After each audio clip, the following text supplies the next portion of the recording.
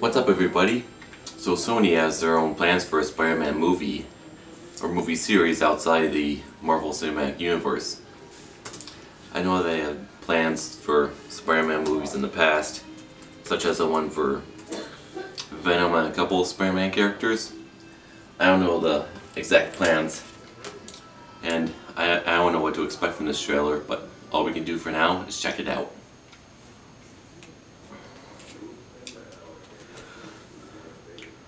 Let's see what what it's about or why I think of it.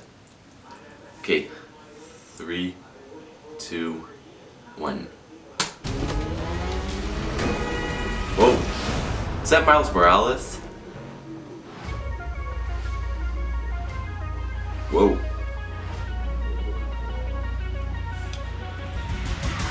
This morning I woke up in a fortress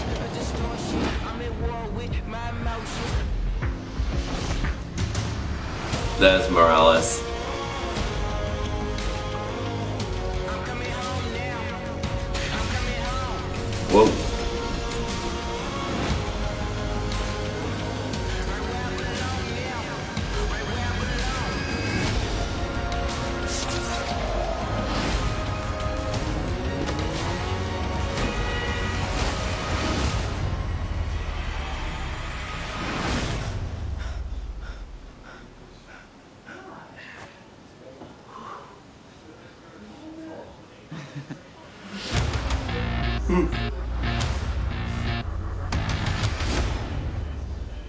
Wait, so how many of us are there?